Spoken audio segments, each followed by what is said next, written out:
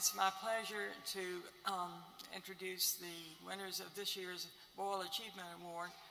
And um, this Achievement Award pays tribute to members of the medical and scientific community, uh, to a person, to a, to a member of the medical or scientific community who has extensively contributed toward improving the diagnosis and care of people with primary immunodeficiency diseases. And this slide shows past recipients of this award. Now, this year, it was a tie between two very deserving physicians. Now, first of all, it's my honor to present the 2017 Boyle Achievement Award to Dr. Jennifer Puck. Now,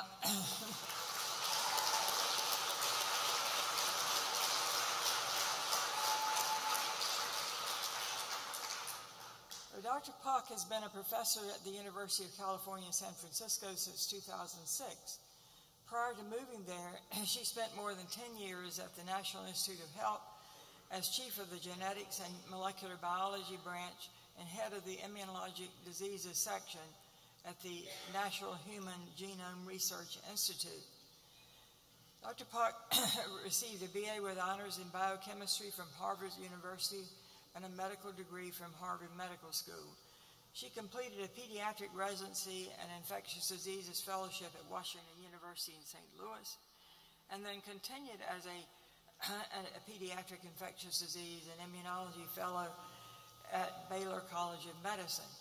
Later, she became an assistant, then associate uh, professor at the University of Pennsylvania School of Medicine.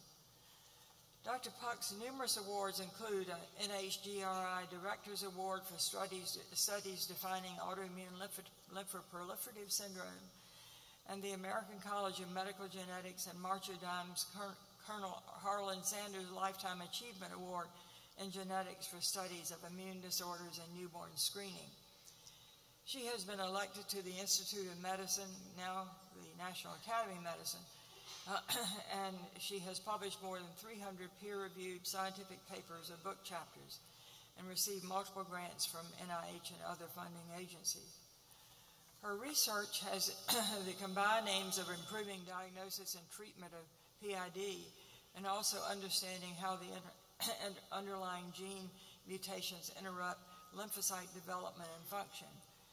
An important fo focus is on severe combined immune deficiency and other disorders of lymphocyte development. Dr. Puck is currently developing lentiviral vector gene therapy for Artemis SCID. She pioneered SCID newborn screening with an assay using DNA from infant dried blood spots to detect T cell receptor excision circles or TRECs.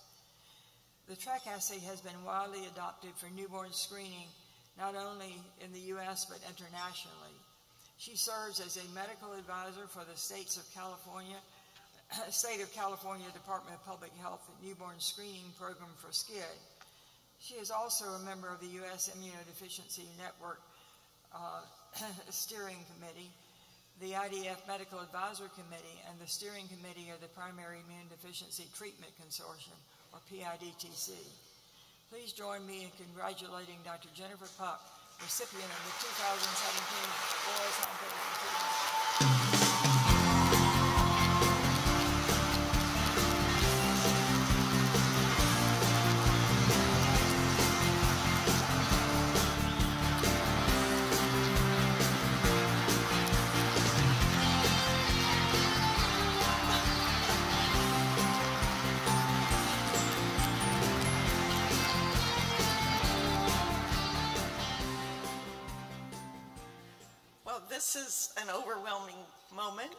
very grateful um, to the Immune Deficiency Foundation and all my friends here.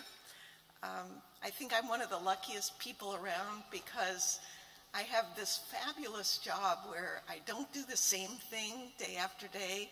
Every day is a new challenge, and these challenges are in the clinic where some of the most interesting uh, and rare and puzzling cases come, but with them come extraordinary families who rise to the occasion and, and uh, overcome a lot of difficulties and really teach me a lot, not only about immunology, but also about life. And that makes me dash back to the laboratory to try to find out what can be done to understand these problems and to help people, help, help them live healthy, long lives. And, and uh, you know, we're succeeding. It's just marvelous. And so thanks to all of you.